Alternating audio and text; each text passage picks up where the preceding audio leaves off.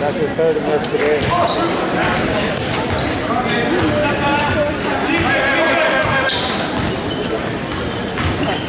Oh.